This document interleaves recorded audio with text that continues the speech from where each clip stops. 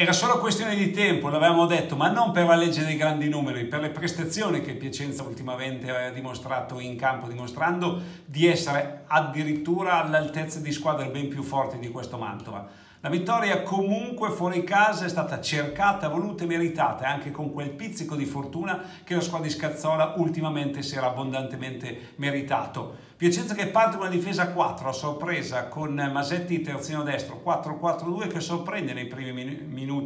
la formazione di casa, ma poi la squadra virgiliana capisce l'antifona, mette in difficoltà Piacenza che dopo un po' sul suo fascio di sinistra non trova equilibri e quindi Scazzola ritorna a un 3-5-2. Il primo tempo finisce 0-0 con un'occasione per parte. Nella ripresa il Piacenza mette quasi sempre il Mantova nella propria metà campo, creando come sempre meno di quello che dovrebbe fare, ma di colpo arriva il gol, il cross dalla sinistra, si libera Gonzi che tira un missile terraria sotto la traversa, manca poco alla fine della partita, ma il Piacenza in due minuti non riesce a leggere un triangolo abbastanza leggibile, libera De Franceschinare che con un diagonale trova il pari. A quel punto ti aspetti che il Piacenza possa andare in difficoltà, invece reagisce, prova ad attaccare, si sbilancia anche, crea con Capoferri, c'è un'occasione anche per il Mantova, ma poi è fortunato perché su un bel cross eh, di Gonzi c'è la deviazione di Guccione nella propria porta. La partita finisce qua, il Piacenza per la prima volta non è ultimo, alle spalle la Virtus Verona ed è ottimista per il futuro.